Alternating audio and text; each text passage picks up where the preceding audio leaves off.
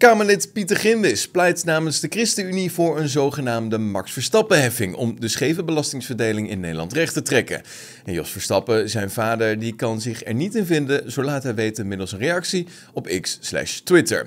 Verstappen woont inmiddels alweer enkele jaren in Monaco, waar hij wordt vergezeld door verschillende collega's, Formule 1 collega's, maar ook andere wereldsterren. Ja, het wonen in Monaco heeft nog echt een ander groot voordeel, want je betaalt er namelijk geen inkomstenbelasting. En dat is natuurlijk gunstig voor bijvoorbeeld Verstappen, die miljoenen verdient. De ChristenUnie pleit daarom voor een Max Verstappen-heffing. Mensen die een hoog inkomen hebben, hebben als het ware dat geld stil liggen. Dat rendeert, maar daar wordt helemaal geen belasting over gevraagd. Wij proberen dat probleem te tackelen met een innovatief voorstel. Een soort Max Verstappen-heffing, een exit-heffing. Als je om fiscale redenen niet meer in Nederland wil wonen, maar bijvoorbeeld in Monaco, dan mag je gaan bijdragen aan de Nederlandse staat.